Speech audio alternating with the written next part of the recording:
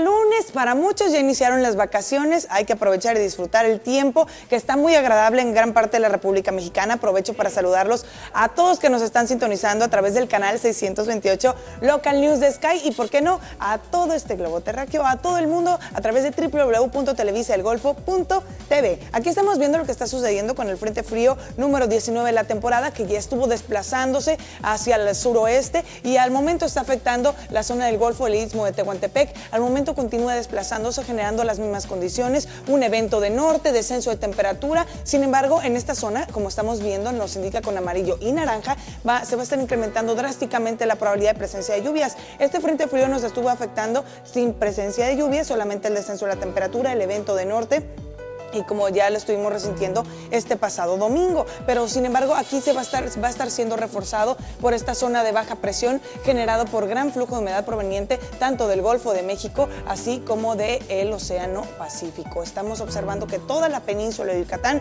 va a tener presencia de lluvias, este descenso de temperatura que ya les había platicado generado por este frente frío número 19 de la temporada. Sin embargo va a estar eh, va a un poco cambiante el tiempo porque para el día de mañana, las próximas 24 horas, espera que este frente frío número 19 adquiera ya características de estacionario. ¿Qué significa esto? No se va a desplazar, se va a quedar ahí generando las mismas condiciones. Así que estén bien preparados hacia la península de Yucatán porque se espera que continuemos con este descenso de temperatura, efecto de norte, que como consecuencia también va a estar incrementando eh, la altura del oleaje. Vamos a ver cómo todo todo lo que nos indica con verde es donde estamos observando que se incrementa la probabilidad de descenso de temperatura. La masa de aire frío que estoy impulsando el Frente Frío número 19. Recordemos que aunque ya haya pasado por aquí este Frente Frío, la masa de aire polar, la masa de aire gélido que lo estoy impulsando, continúa afectando a gran parte de la mesa norte, noreste, también a la península de Baja California, como estamos observando, y en la zona del noreste de nuestro país, incluso hasta la zona central,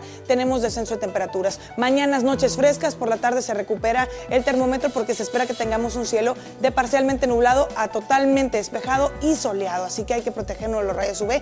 En, eh, precisamente en la sombra vamos a tener frío, ya sabemos eh, este tiempo Así vamos a estar este inicio de semana. En la sombra nos va a dar frío y en el sol está bochornito, nos va a dar un poco. Les recuerdo para el día de hoy en Tampico, Tamaulipas, Tampico, Madero, El Tamir, el norte de Veracruz, un termómetro máximo de entre 19 a 21 grados centígrados y por la noche hasta de entre 10 a 12 grados centígrados. Como decimos allá en Ciudad Mante, un beso para todos los mantenses que nos sintonizan a través del canal 13, el canal de la familia mantense. Al momento está alcanzando un termómetro de 12 grados centígrados con sensación térmica de 13. También se espera un cielo totalmente despejado y soleado, así que prepararnos para el solecito que vamos a estar recibiendo el día de hoy. Recuerde, por, eh, en la sombra nos va a dar frío y también bochornito nos va a dar en el sol. Por la noche se espera que estemos alcanzando allá en Mante un termómetro de 9 grados centígrados, así que hay que prepararnos.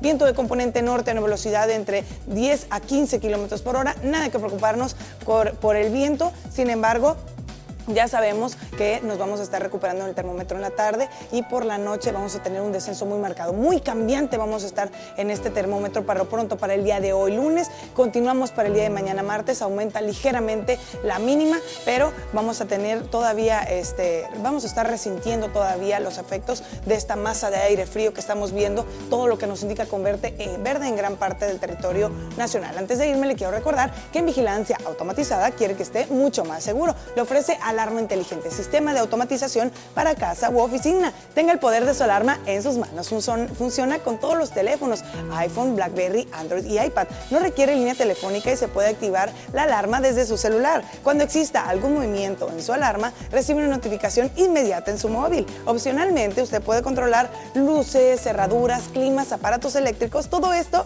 desde su celular. ¿Qué espera? Infórmese ya con nuestros amigos de Vigilancia Automatizada. Hay más detalles del pronóstico del tiempo, no se vaya, que aquí hay más información en punto de vista. Buenos días.